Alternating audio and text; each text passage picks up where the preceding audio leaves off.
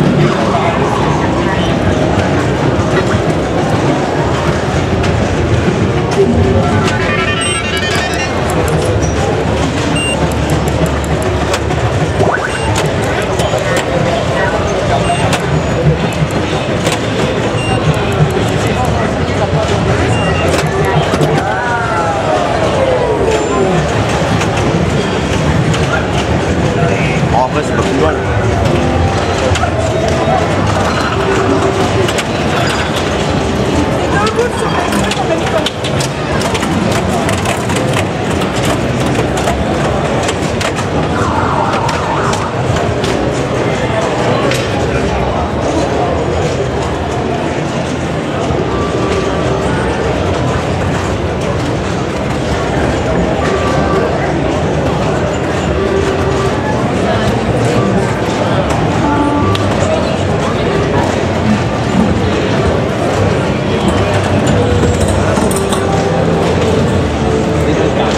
Wow.